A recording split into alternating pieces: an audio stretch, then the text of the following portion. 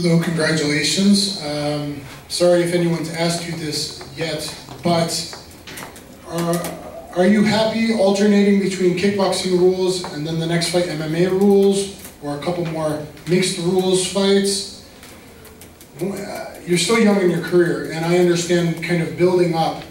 uh, but you do have some detractors like everyone does on the internet. MMA forums, Sure Dog MMA. I've seen people say always special rules or always kickboxing. How many more fights, kickboxing or mixed rules fights, until you dedicate more to straight MMA?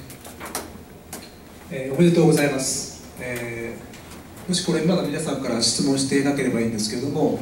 えー私が質問したいのは今のキックと MMA をこう交互にやっているような状態だと思うんですけどもその状態に満足していますかということですね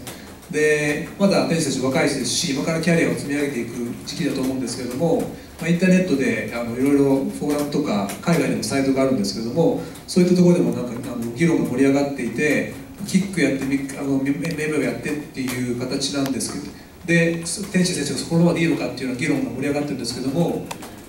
今からどのぐらいキックやって MMA をやって最終的に MMA にこう絞るっていうことをやる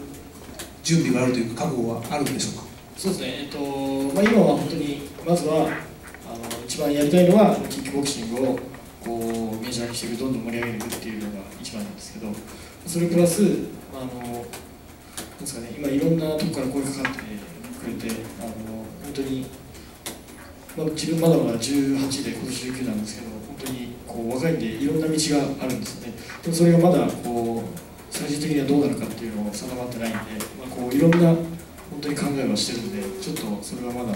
こう言えないというか MMA も考えてますしこのままキックでいくのも考えてますしボクシングも考えたりしますしそれはあの本当にいろんな人のこう話し合ってどんどん格闘技がこれから先どうなっていくかわからないのでそれをそれ次第で僕は